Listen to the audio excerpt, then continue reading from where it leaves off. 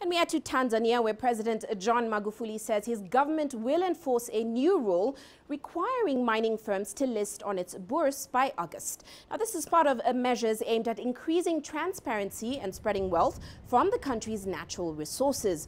Major foreign-owned mining companies that will be affected by the requirement include Acacia Mining, Anglo Gold Ashanti and Petra Diamonds. Now, the government issued regulations last year requiring holders of special mining licenses to sell about 30% stake in their companies through an initial public offering within two years.